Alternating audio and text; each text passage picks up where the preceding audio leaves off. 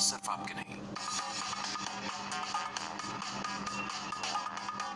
चार मार्च को भारत की राजधानी दिल्ली के नेशनल स्टेडियम में लायंस क्लब इंटरनेशनल ने लोगों में डायबिटीज़ के प्रति जागरूकता फैलाने के लिए एक वॉकेथॉन का आयोजन किया। डायबिटीज़ आप सबको मालूम है, एक बहुत बड़ी एक बीमारी, ऐसी बीमारी जो वो लोगों को पता नहीं चलता कि वो बीमार हैं लेकिन उनको तकलीफ़ है उनको एजुकेट करने के लिए अवेयरनेस करने के लिए ये वॉकथॉन का हमने आयोजन करा है। इसमें बहुत से दिल्ली के लोग इसमें पार्टिसिपेट कर रहे हैं। एक घर घर में ये संदेश जाए कि डायबिटीज़ प्रिवेंटेबल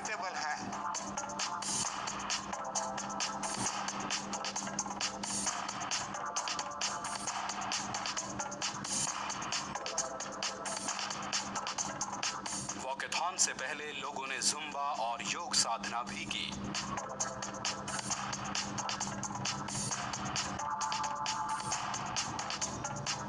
इस वॉकेथॉन का उद्घाटन भारत के केंद्रीय मंत्री डॉक्टर विजय गोयल ने किया।